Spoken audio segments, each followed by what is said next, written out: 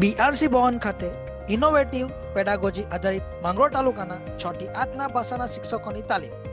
તાલુકાના એસી શિક્ષકોને તાલીમ આપવામાં આવી.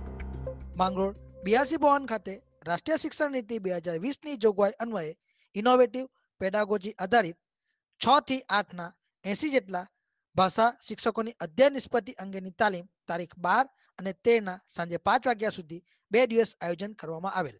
જેમાં માસ્ટર ટ્રેનર દ્વારા વિષય વસ્તુ અનુરૂપ શિક્ષકોને તાલીમ આપવામાં આવેલ.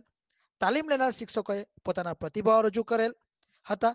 તાલીમમાં મોડ્યુલ આધારિત પ્રવૃત્તિ તથા પ્રોજેક્ટ કાર્ય પણ કરાવવામાં આવેલ. તાલીમનું સુંદર આયોજન જંખવાના સીઆરસી સુનિલભાઈ ચૌધરી વિજયભાઈ એમઆઈએસ સંદીપભાઈ દ્વારા કરવામાં આવેલ હતું. મારું નામ વાસંતીબેન ઠાકોરભાઈ હાંસોટી છે. હું ઉચ્ચતર પ્રાથમિક શાળા કોસંબામાં ઉસી તરીકે ભણાવું છું. આજે હું એમટીએસ તરીકે તારીખ બે બાર બે બે હજાર ચોવીસ અને તારીખ તેર બે બે હજાર ચોવીસ કુલ બે દિવસ માટે અમે અહીં ભેગા થયા છે. અમારા કુલ એસી શિક્ષકોને અમે આ એમટીએસ દ્વારા તાલીમ તાલીમ આપવામાં આવી આવી રહી છે.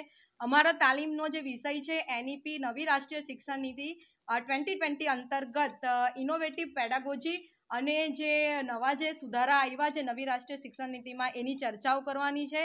અને કઈ કઈ પ્રવૃત્તિ કઠિન જે અધ્યયન નિષ્પત્તિઓ છે જે બહાર આવી છે એનએસ ને એવા સંશોધનો કે વાર્ષિક પરિણામો અને સંશોધનોને આધારે, તો એ કઠિન નિષ્પત્તિને કઈ રીતે અમે સરળ બનાવીએ, કઈ પ્રવૃત્તિઓ દ્વારા, કઈ ઇનોવેટિવ ક્રિએટ કરીને, કઈ નવા નવા પ્લે દ્વારા કે પછી ગેમ દ્વારા નવું નવું શીખવીને બાળક સુધી કેવી રીતે એ પ્રવૃત્તિઓ સિદ્ધ થાય, એ અધ્યયન નિષ્પત્તિ સિદ્ધ થાય, એ અમે શીખવાડવામાં આવીએ છીએ તાલીમાર્થીઓને શીખવાડવાના છે.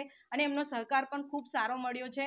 અભિનય ગીત દ્વારા કે વાર્તા દ્વારા એ લોકોમાં પણ નવી નવી જાગૃતતા આવી છે અને છોકરાઓને શીખી શીખવી શકે. અને અમે આશા રાખીએ છીએ કે આ બધી અધ્યયન સ્ફીતિની પ્રવૃત્તિ કરવામાં આવશે, તે વર્ગ સુધી જશે અને બાળકો શીખશે.